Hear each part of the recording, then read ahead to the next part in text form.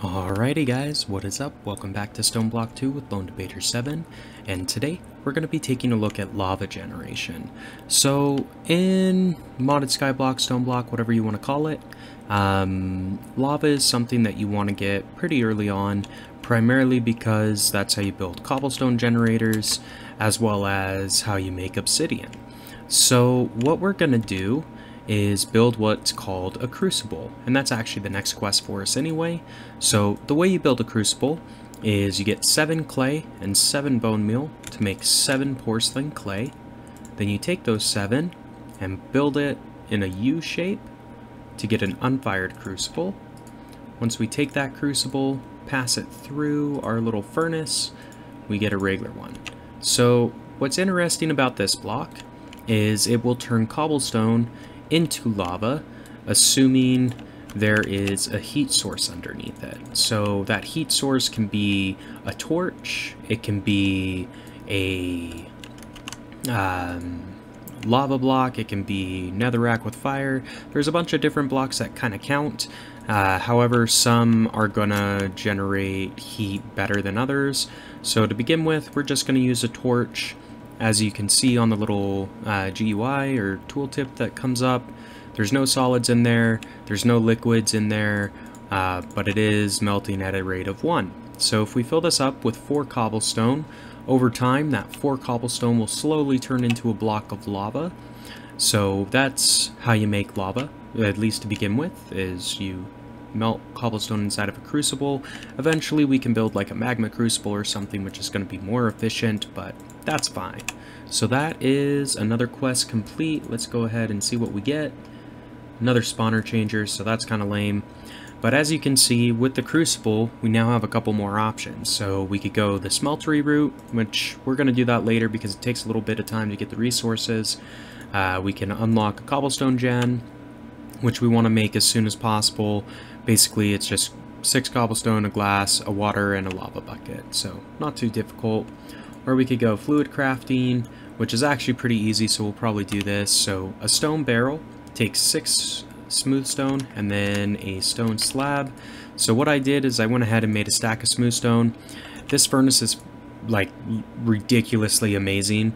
A single sapling will do a whole stack of items and still have a little bit left over. So uh, like I'm so glad we got that item, uh, honestly. But we'll make our stone slabs like that, and then we'll get our stone barrel, just like so, and that gives us another quest. And this can be used for various recipes. If you put lava inside of this, and then tap that lava with a redstone, uh, you can get netherrack. Um, there's other stuff you can make as well, but we'll kind of cover that as it becomes more necessary. But bottom line, we get another reward, six phantom faces. So I think these are used for wireless power, if I'm not mistaken. We don't have anything that can generate power yet, so we'll just save those for a rainy day. But that is fine. Not a bad uh, quest reward, honestly. So this unlocks netherrack. Um, so this will tell you use redstone on a full uh, lava barrel, um, and it will um, go ahead and uh, make you some netherrack. Uh, this reward is repeatable in case you lose it, as it's the only way to make hell biome. So interesting. I don't. I don't know. I thought that, as I understood it, to get to the Nether, you just had to keep digging up, but that's fine. Um, what ifs? Let's see. So, I guess really what we should do, we could go towards the mining dimension, which basically just means we have to mine upwards in the world.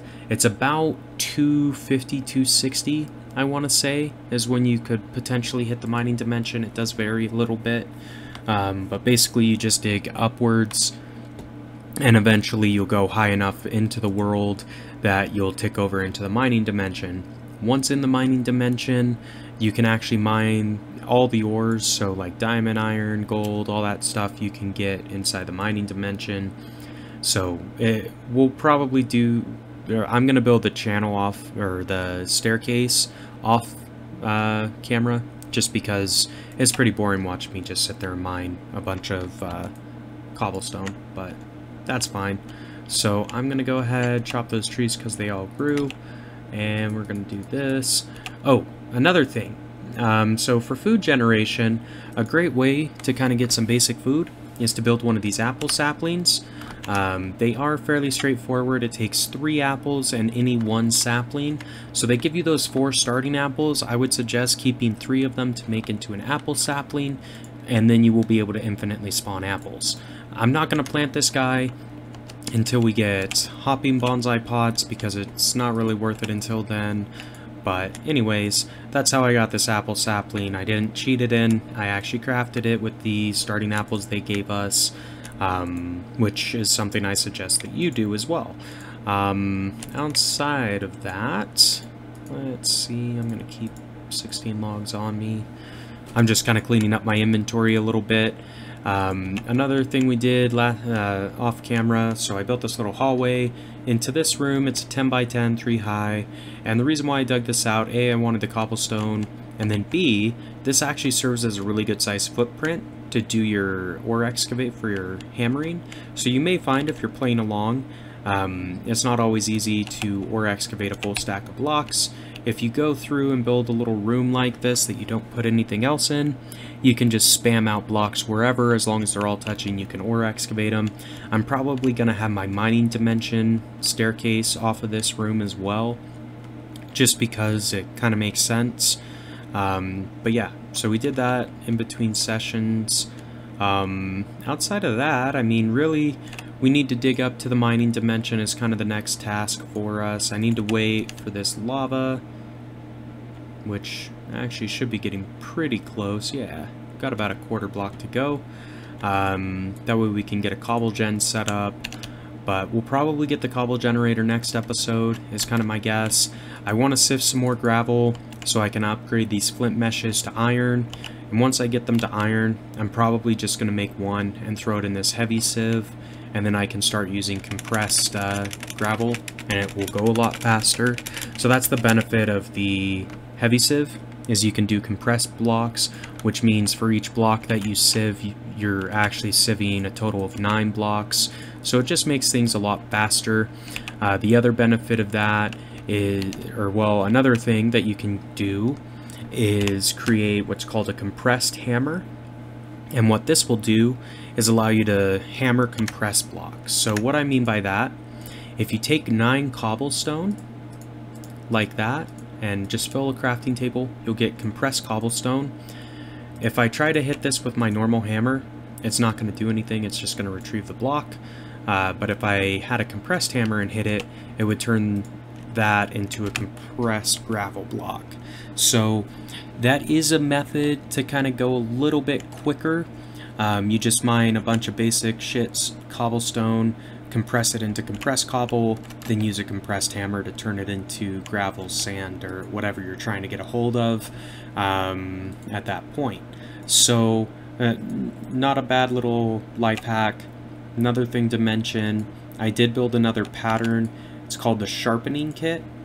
And the reason why I built this is twofold. First off, if I take this into our part builder and put cobblestone inside, I can build a stone sharpening kit. What this stone sharpening kit will allow me to do is repair my tools by combining it in a crafting bench. So if I do that, I could refill my hatchet's health without actually needing to come over to the tool station.